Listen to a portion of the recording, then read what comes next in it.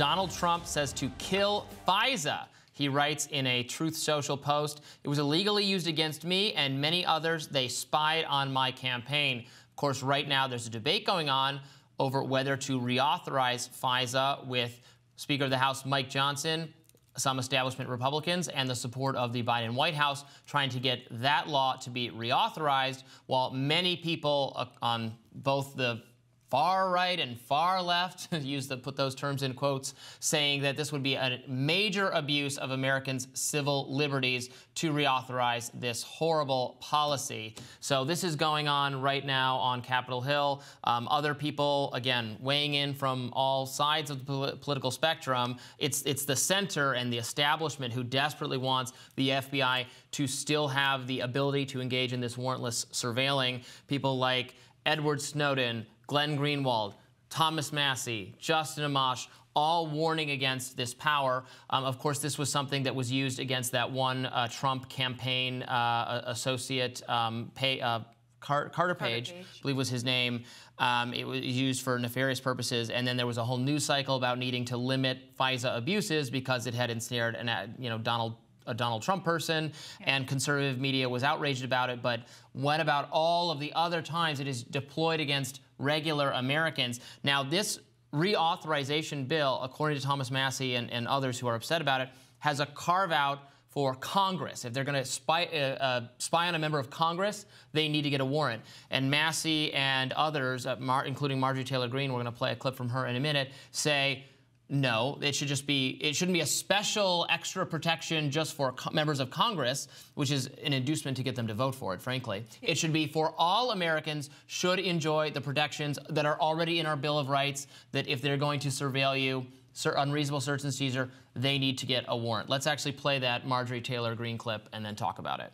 This yesterday, I sent a letter out uh, to my colleagues yesterday morning.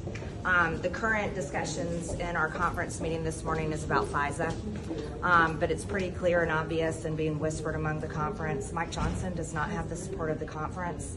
Um, the letter that I sent has been well received, and it was basically speaking the quiet part out loud. Um, he's in there urging uh, members to reauthorize FISA. Um, and I don't think he has the votes for it right now, uh, is what I'm gathering.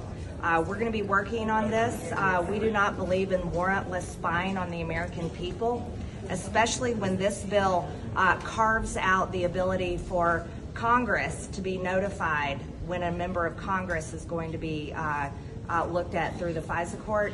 Um, that's completely unfair. The same thing should apply for the American people. Um, but Mike Johnson doesn't have the trust of the conference, and that's become very clear. So I'm glad to see people expressing skepticism of reauthorizing this, but we'll see. Yeah, I've been wanting to talk about this all week. Edward Snowden has been really ringing the alarm bell, trying to get people to focus on what's happening. The argument has been that establishment members of Congress on both sides of the aisle have tried to kind of slip this through under the radar.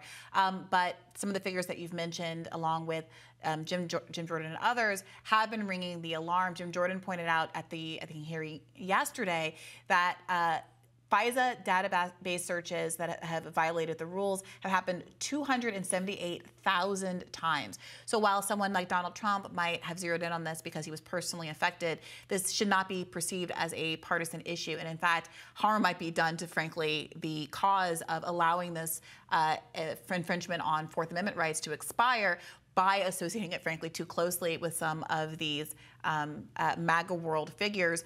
Uh, Marjorie Taylor Greene has pointed out on Twitter as well that there is this specific carve out for Congress members, which seems to evince some understanding that this is a, an infringement and a violation, at least when it comes to the people who are writing the laws. The question is whether or not the protections that are enjoyed by members of Congress are going to be uniquely enjoyed by them or shared by the rest of the American public. Yeah, absolutely. Uh, to my mind, this is something to um, go after the speaker over. You know, Marjorie Taylor Greene considering this uh, move to actually uh, to strip him of that of that title based on Ukraine funding. Again, also something I disagree with. Uh, with Mike Johnson on, but this is so clear. Like, ask rank and file Republican conservative voters whether they want these kinds of abuses to be codified into law. I mean, ask you know, ask anybody. Frankly, people know now. People distrust um, the government on these matters. Don't think it should have this power. It obviously violates the Constitution, frankly, in my view. And it is something that your, a, a Tea Party and the next generation of Republicans was ostensibly brought to Congress to fix. And this is why, you know, tremendous frustration sets in uh, on among Republicans, among conservatives, when they're told we're going to, you know, we're going to elect these people, and then they're going to stop the deep state. They're going to protect American civil liberties, and it does, and then the Patriot Act gets reauthorized, and FISA gets reauthorized, and we spend more money on uh, national security, intelligence, spy people, and there's more censorship on social media. Like all of that, it doesn't get it doesn't get any better. So this would be a great place to really hold the line and say, no, this is unconstitutional. It is wrong. It should not, if they want to monitor uh, Americans, they have to get a warrant just like for anything else. Yeah. I mean, it's worth noting, uh, apparently during the hearing yesterday as well, Democratic representative from New York, Jerry Nadler, said he could not support the reauthorization of Section 702 without some serious reforms, pointing specifically to the idea that a uh, warrant requirement would safeguard American civil liberties without compromising intelligence agencies' ability to protect national security. Um, and so there is some Democratic buy-in here on the idea that this is not something that should be pushed through attached to one of these must-pass bills.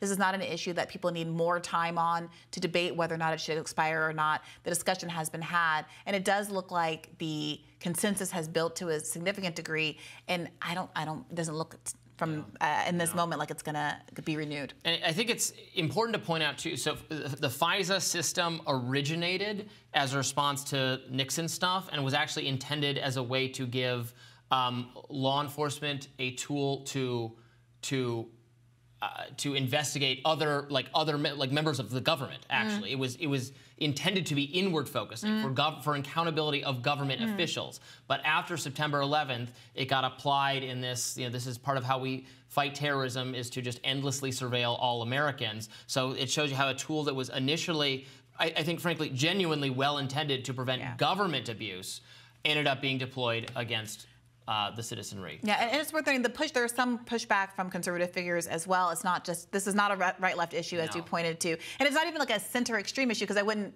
a center rather fringe issue because I would hardly call Jerry Nadler yeah. a leftist or anywhere other than the dead center core of the Democratic Party. Um, but for example, uh, Representative uh, Mike Turner of Ohio says that he doesn't agree with this warrant requirement that would uh, protect civil liberties because he doesn't want the government government to have to get a warrant to search, quote, Hamas's data. So you can see how this kind of national security argument is being weaponized to infringe upon, frankly, the civil liberties of American citizens. We'll continue to cover this fight as it evolves. Stick around. More Rising for you right after this.